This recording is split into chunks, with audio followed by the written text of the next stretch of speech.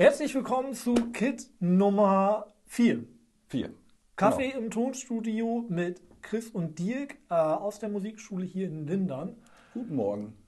Genau. Guten Morgen in die Runde, beziehungsweise je nachdem, wann ihr es euch anschaut, guten Nachmittag oder guten Abend.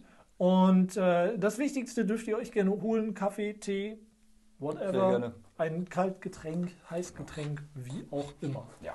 Es gibt viele Neuigkeiten rund um Musikschule und wahrscheinlich auch viele Neuigkeiten, die euch interessieren. Ich möchte ganz gerne vorweg sagen, dieses Video richtet sich an alle Eltern, an alle Schüler der Musikschule, aber natürlich auch an Neuinteressierte, die irgendwie Informationen rund um Musikschule, Shop und Co. haben möchten. Ähm, denn großes Thema ist natürlich die Verordnung von letzter Woche Samstag. Genau. Das ist natürlich, was uns auch trifft, dass wir noch nicht wieder aufmachen dürfen. Genau. Ist ja nun mal so. Alle anderen oder viele anderen dürfen schon aufmachen. Und das grenzt so ein bisschen am Verständnis allmählich. Und ähm, ja, es ist wie es ist. Wir müssen da natürlich durch. Aber schon schwer zu verkraften teilweise. Ja, die Meinungen über die Verordnung der Landesregierung in Niedersachsen spalten sich etwas tatsächlich, was wir auch mitbekommen. Und ich möchte über diesen Weg äh, den oder ich möchte diesen Weg nutzen, um euch als Eltern, als Schüler über viele Dinge neu zu informieren. Denn ich bekomme sehr, sehr häufig Anfragen, hey Chris, weißt du schon was Neues über Verordnungen oder, oder, oder, oder. Ich möchte dazu sagen, nein, ich bekomme als Musikschulbetreiber oder Musikschulleiter nicht unbedingt ein, zwei Tage vorher eine, die neue Verordnung oder Vorverfassung oder, oder, oder, ähm, sondern für mich ist immer der Fall, die Bundesregierung tagt. Mittlerweile weiß ich schon, okay, dann tagt in der Regel, im Regelfall zwei Tage bis drei Tage später äh, die Landesregierung und dann eventuell erst einen Tag später, also es kann so drei, vier Tage dauern, bis nach der Bundesministerkonferenz die neue Verordnung draußen ist, der Landesregierung in Niedersachsen, denn die ist für uns hier relevant. So sieht's aus. Und dann könnte es aber gegebenenfalls nochmal Einschränkungen geben seitens des Landkreises. Also das gibt es auch noch. Kommt auch noch, ja. Kommt aber relativ, muss man auch sagen, kommt relativ wenig vor. Also wir haben bisher Glück gehabt. Mhm. Ähm, man muss dazu sagen, Kloppenburg ist derzeit Spitzenreiter mit Inzidenzwerten und Co. Aber nun denn, darauf möchte ich gar nicht weiter eingehen. Äh, zurück zum Thema Verordnung. Das bedeutet, sobald wir irgendetwas Neues wissen hinsichtlich Öffnung, hinsichtlich, keine Ahnung, wir dürfen Kopfstand machen, ähm, melde ich mich bei euch. Also das ist ganz, ganz wichtig zu verstehen. Ja. Die Verordnung von letzter Woche Samstag besagt, dass kein Präsenzunterricht stattfinden darf, dass kein außerschulischer Unterricht stattfinden darf. Das bedeutet, wenn Lehrkräfte zu Schülern nach Hause hinfahren dürfen oder sollen, das darf nicht stattfinden. Ähm, genau. Wir sind quasi mehr oder weniger an dem Punkt wie vorher auch. Also selbst Click and Meet und Co. sind für uns ja, kommen irgendwie noch nicht wirklich in Frage. Ja. Ähm, ich möchte dazu sagen, dass äh, durch die Tätigkeit auch im Bundesvorstand und durch ähm, ja, das Mitwirken äh, in, dem, in dem Landesverband der freien Musikschulen, dass ich tagtäglich auf dem Laufenden gehalten werde, was die Öffnung der Musikschulen angeht. Ähm, es gibt auch seitens des Landesverbandes auch also nicht nur von dem Verband der freien Musikschulen, dem wir zugehören, sondern auch von dem Verband der Musikschulen. Dazu gehören viele kommunale Musikschulen, unter anderem auch die Kreismusikschulen oder Musikschule des Emslandes und, und, und. Diese Verbände oder gerade auch der Bundesverband, wir üben schon viel Druck auf die Politik aus und wir versuchen auch verbandstechnisch dort in einem Maße Druck auszuüben, dass die Politik auch merkt, okay, es ist wichtig, Musikschulen aufzumachen. Natürlich gibt es da, äh, wie soll man das formulieren? Es ist Fingerspitzengefühl angesagt. Und es gab auch von mir letzte Woche Sonntag, haben viele Eltern, viele Schüler von mir eine Rundmail äh, geschickt bekommen, eben, dass wir nicht öffnen dürfen. Ähm, man muss da mit, mit Fingerspitzengefühl rangehen, damit das Ganze irgendwie funktioniert. Denn, das merken wir auch, im Moment treten wir da ganz schön auf die, ja, wir kommen da nicht wirklich weiter, sagen wir es mal so. Ich darf natürlich nicht zu viel verraten, aber wir kommen derzeit nicht wirklich weiter, weil es alles äh, ein bisschen abgeblockt wird von der Landesregierung bzw. von den zuständigen Ministerien. Aber wir kümmern uns. Das ist der springende Punkt. Also es ist nicht so, dass wir uns hier zurücklehnen und sagen, hey, alles klar. Nee. Auf keinen Fall. Wir arbeiten daran und wir machen und wir tun und das möchte ich euch, euch auf diesem Wege mitteilen. In vielen Bundesländern sieht es ein bisschen anders aus. Nordrhein-Westfalen oder Brandenburg, die dürfen ganz normal Präsenzunterricht mit Einzelunterricht machen, ähm, dürfen auch Gruppen mit bis zu fünf Personen machen. Teilweise lassen äh, Träger oder Kindergärten dann auch Lehrkräfte in die Kindergärten rein und sowas. Das hat alles Niedersachsen nicht. Das dürfen wir alles nicht. Und demnach ist noch ein bisschen Geduld angesagt, aber wir hoffen, dass es natürlich schnellstmöglich wieder funktioniert. Absolut, das können wir alle nur hoffen. Und wir sehnen uns danach wirklich. Wir müssen aufmachen. Ja. Das ist einfach so. Ja, wirklich. Das ist so. Ich meine, was steht denn da? Ich meine, man kann ja diskutieren, klar, Sicherheits- und Schutzmaßnahmen und sowas alles, aber wenn das alles gegeben ist, ne?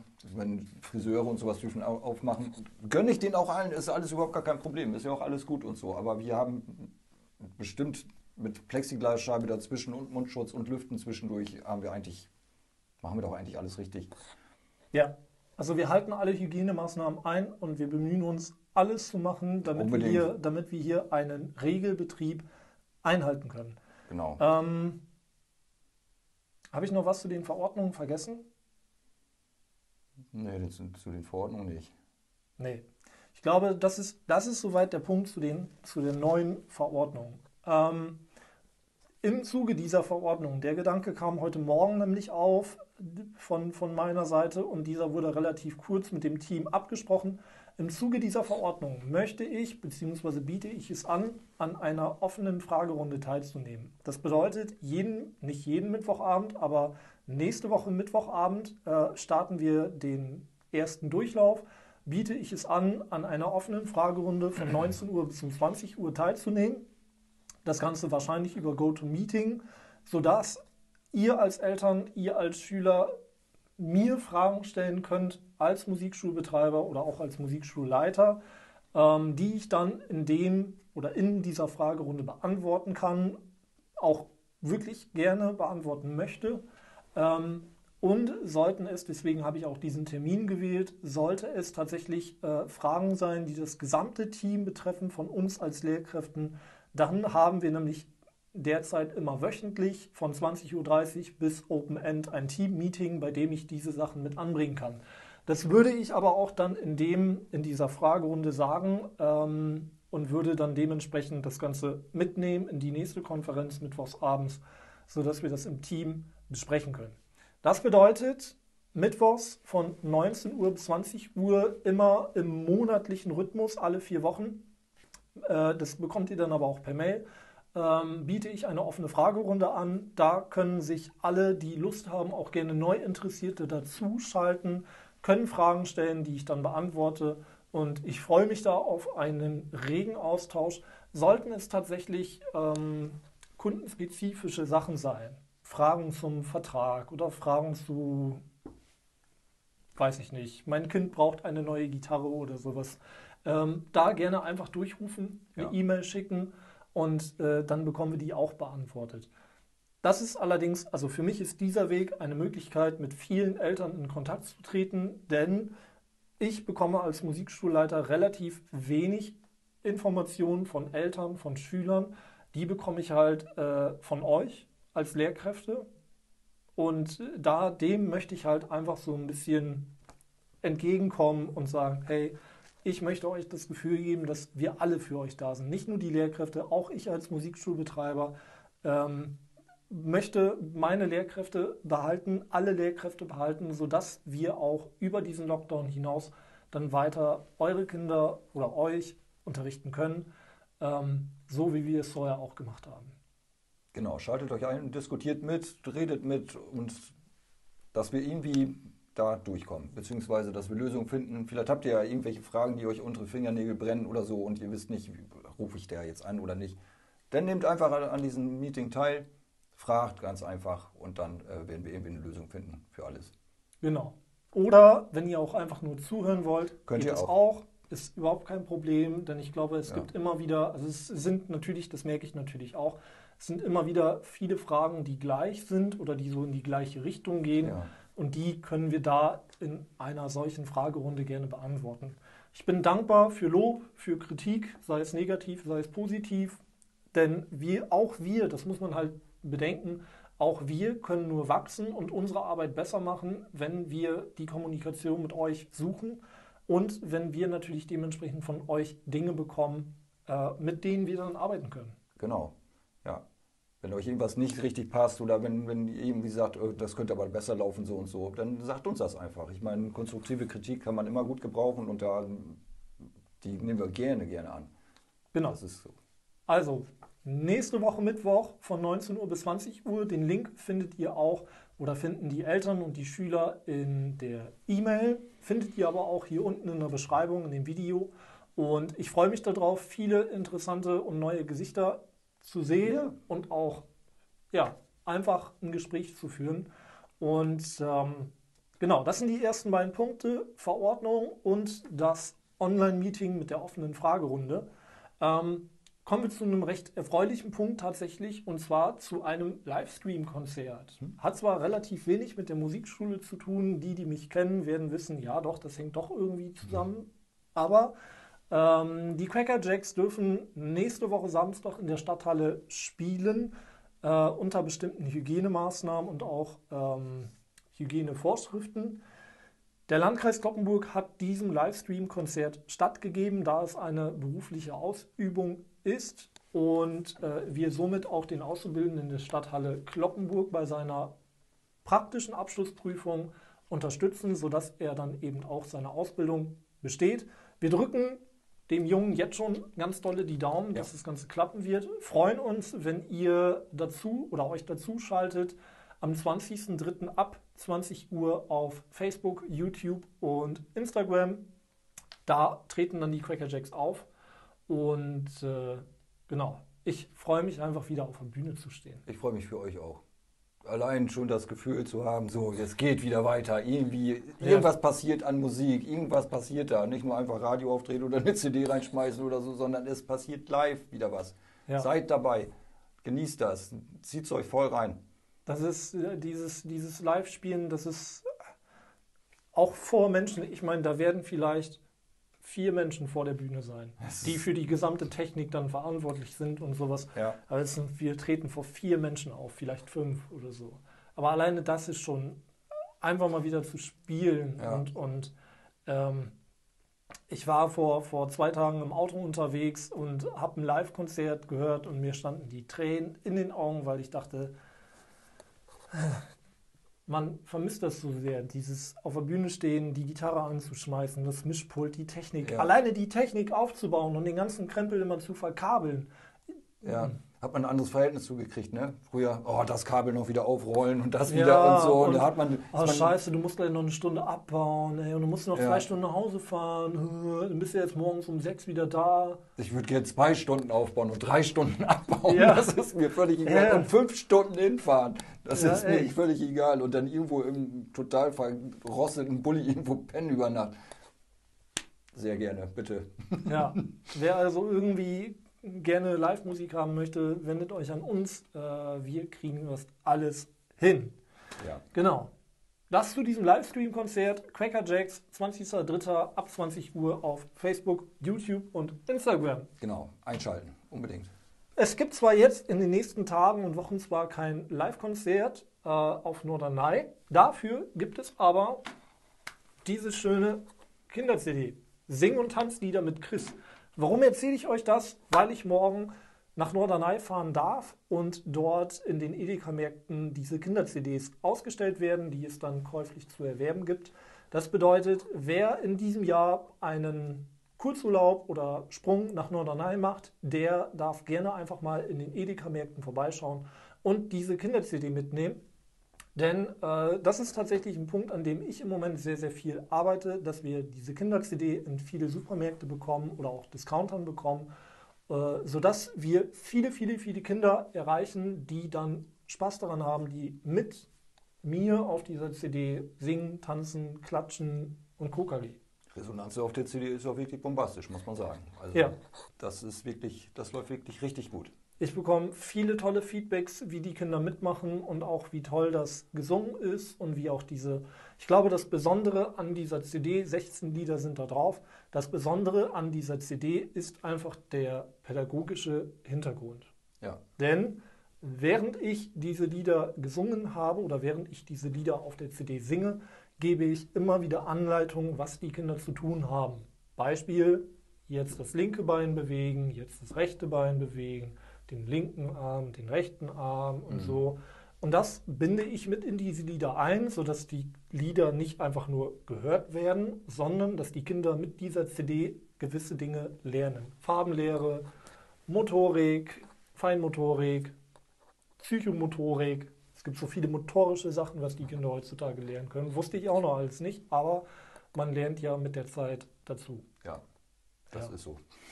Deswegen, solltet ihr auf meiner und unserer Lieblingsinsel sein, gerne einfach mal in den Edeka-Märkten vorbeischneiden, Kinder-CD mit einpacken und auf der Rückfahrt genießen. Ja, mit den Kindern. Ich habe mal ein tolles Video bekommen, da hat eine kleine eine kleine Tochter, lauthals, aber wirklich lauthals, grün, grün, grün sind alle meine Kleider mitgegrölt. Und die Mutter saß daneben, hat das gefilmt. Ich glaube, die dachte auch, Alter, die, der ist total bescheuert. aber ein tolles Video und ich freue mich wirklich über solche Sachen. Ähm, Genau, das soweit zur Kinder-CD. Und im Zuge von Musik machen und weil wir bei den Kindern sind, kommen wir jetzt mal zu zwei Instrumenten, welche ich äh, in einem Video vor ein paar Tagen auch schon vorgestellt habe. Und zwar sind das die sogenannten Nino Steel Tong Drums. Ganz neu, frisch auf dem Markt. Ja.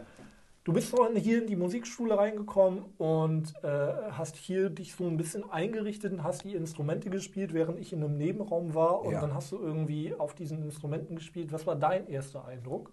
Mein erster Eindruck war von diesen Instrumenten, dass es ein wirklich ein warmer, wohlklingender Ton ist, der einen innerlich berührt und äh, beruhigt, meine ich, beziehungsweise, weil das ist, das sind so von der Klangschale nachempfundene Töne und die ein beruhigendes Gefühl irgendwie vermitteln. Das, mhm. ist ein, das ist was anderes, wie zum Beispiel, wenn ich da jetzt ein Holzxylophon stehen habe oder sowas und die Kinder, man merkt das ja, die wollen immer mehr und immer, das wird immer lauter. Ja, und hier ist das wahrscheinlich diese andersrum äh, Philosophie, dass man hier einfach nur diesen Ton genießt, diesen ruhigen Ton. Das Schöne ist halt auch, du kriegst die Instrumente nicht kaputt. Nee. Ne, weil du ja gerade sagtest, ich will immer mehr, wenn ich so kleine Kinder nehme, die dann eine Trommel haben ja, zum Beispiel oder steigern oder, sich da immer mehr rein. Djembe ja. oder so. Ja. so. Und dann ballern die da irgendwann voll drauf rum und du denkst als Elternteil, oh, das hat so viel Geld gekostet genau, und so. Macht doch nicht kaputt. Ähm, und, und hier kannst du halt eben, die werden ausgeliefert, ich weiß nicht, ob man das sehen kann, mit so zwei kleinen Gummiköpfen oder Schlägeln mit einem Gummikopf drauf. Ja. Und diese Instrumente sind halt aus Stahl. Also die können euch auch runterfallen. Ihr habt hier an der Seite so eine, so eine Gummibeschichtung mhm. und habt auch einen Gummifuß sodass ihr die auch hinstellen könnt, ähm, sind ungefähr eine Handfläche groß und erzeugen halt eben Töne, die einfach auch mal anders sind als diese typischen Glockenspiele. Ne? Oft verbindet man musikalische Früherziehung ja mit Glockenspiel, Triangel, Rassel, Klanghölzer. Ja.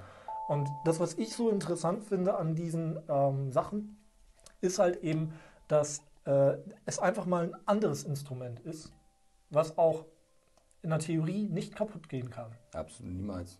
Also ich glaube, da kann ein Auto drüber fahren, das juckt das nicht. Von der Verarbeitung sind die auch sehr gut. Weil gerade bei so Ausschnitten, bei Stahl oder sowas, ergibt ja manchmal, kann sich dann so ein, so ein Grad ergeben, wo sich Kinder verletzen können und so. Aber das ist alles so eine Top-Qualität und sehr gut verarbeitet, muss man ja. wirklich sagen. Und es erzeugt halt wirklich einen sehr, sehr beruhigenden Ton.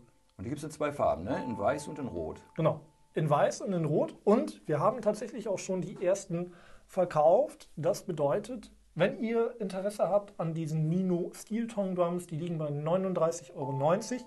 Und vielleicht mal zum Vergleich, die Erwachsenenmodelle liegen, die günstigen Modelle fangen bei 200 Euro an. Das Ganze geht aber auch mal ganz gerne schnell hoch bis hin zu zweieinhalbtausend Euro. Das bedeutet, wer auch als Erwachsener Interesse hat an diesen meditativen Klängen, der darf gerne ein Nino Stilton Set bzw. eine Nino Stilton Drum Genau. bestellen. Kann man auch so eine Yoga-Übung zu machen, glaube ich. Ja. Oder ein Konzert zu zweit spielen. Ich merke, wie ich richtig runterfahre. Ja, ne? Das ist wirklich so.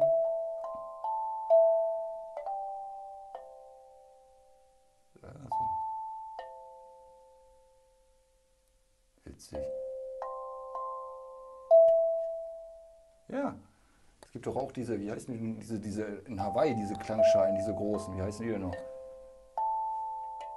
Ich weiß es nicht. Aber weißt du, das ist so ein Instrument, da kann man so, das kannst du den ganzen Abend benutzen. Ja. Immer wieder mal so Ping-Pong machen. Ja. ist total cool. Sehr gut. Ja, die können wir auf jeden Fall für euch besorgen. Beziehungsweise wir haben die auch. Wir haben die auf Lager. Wir haben die auf Lager, haben wir. Genau. Und apropos Lager, wir waren letztes Wochenende fleißig und haben ähm, in unserem Lager viele Sachen umgebaut, ausgeräumt, neu gemacht, gestaltet und, und, und. Das bedeutet, wenn ihr bei uns im Shop Sachen bestellt, gehen die, wenn diese Bestellung bis mittags eintrifft, noch am gleichen Tag raus. Sollte die nach der Mittagszeit eintreffen, dann erst am nächsten Tag. Aber wir haben alle Sachen, die bei uns im Shop sind, sind theoretisch. Außer es ist tatsächlich mal von meiner Seite aus ein Programmierfehler, ähm, sind auf Lager, haben wir da und wir freuen uns und sind auch sehr, sehr dankbar dafür, wenn wir Bestellungen bekommen und wenn wir Ja. damit Menschen glücklich machen dürfen. Und genau, das haben wir letztes Wochenende gemacht und Ja. ich glaube, wir sind jetzt am Ende von Kit Nummer 4, Kaffee im Tonstudio, außer du hast noch etwas, was du den Menschen da draußen mitteilen möchtest.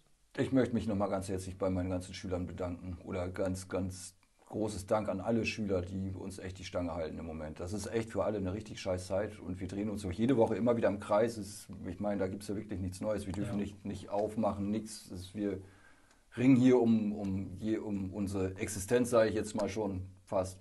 Und deswegen nochmal ein ganz, ganz herzliches Dankeschön von uns, von der Musikschule, an euch Schülern, dass ihr bei uns bleibt und uns die Stange haltet. Wir sind auch immer für euch da. Ihr könnt auch jederzeit anrufen. Das ist jetzt ja wirklich eine Ausnahmesituation.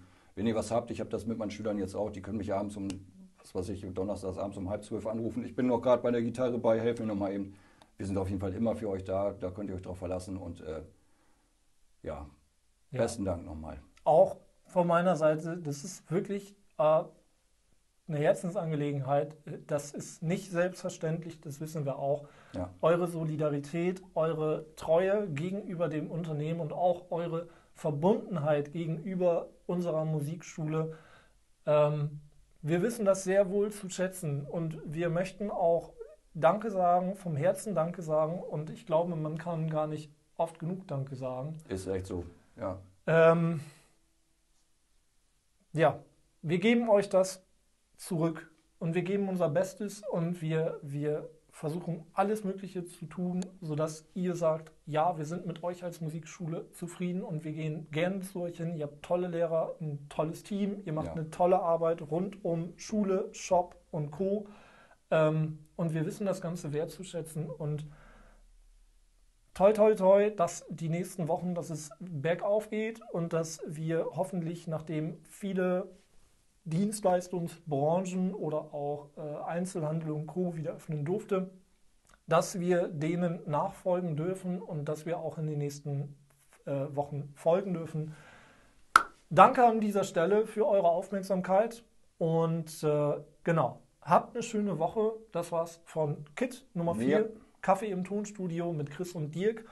Nächste Woche sehen wir uns wieder, dann auch abends von 19 bis 20 Uhr mit der offenen Fragerunde. Ja, Ähm, nehmt teil, genau. Nehmt genau. teil. Und alles weitere, vielleicht haben wir in einer Woche noch mehr News, die wir euch dann auch schon hier über das Videoformat mitteilen können. Aber jetzt sagen wir an dieser Stelle erstmal Tschüss, danke für eure Aufmerksamkeit und bis nächste Woche. Alles klar. Macht's gut. Bis dann. Ciao.